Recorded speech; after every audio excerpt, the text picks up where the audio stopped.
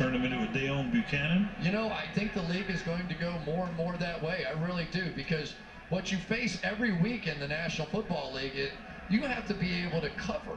And these linebackers, the old days of the classic middle linebackers that we were so used to, even in this division, are kind of gone. You have to have middle linebackers that can cover a back and a tight end.